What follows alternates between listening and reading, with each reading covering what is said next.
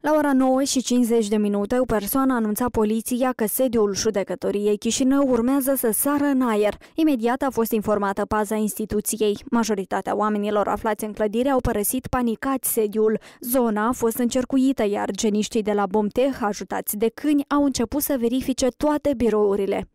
Eram în bucătărie, a venit uh, domnul de la hrană și ne-a spus că să ieșim cu toți afară, că s-a întâmplat ceva. Dar s-a creat panică că nu înțelegeam ce se întâmplă. A fost un moment așa de șoc, după aceasta am realizat și am coborât. Cum credeți? Este o farsă sau totuși este adevărat? Că da. Pentru, nu știu, să anulez ședință de judecat, cred eu, da. Pe unii magistrați, alarma i-a prins chiar în timpul examinării dosarelor. Ei au fost nevoiți să întrerupă ședințele. Judecătorii spun că nu s-au speriat. Mai multe ședințe, toate au fost, sper că toate ulterior le vom amâna, vom vedea. Mai mult detalii nu pot să vă dau, că nu cunosc. V-ați speriat?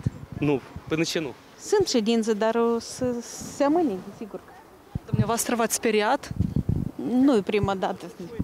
Surpriză neplăcută și pentru cei care abia veneau spre judecătorie în speranța că dosarele lor vor fi examinate. Dacă noi avem ședință la orele 11, permite? Nu, nu, nu. Ședință, la moment, nu o să fie nici o ședință. Dar la care, moment. Dacă, dacă Ați care, veniți peste două, trei ore. dar să care, fie care e motivul? bun.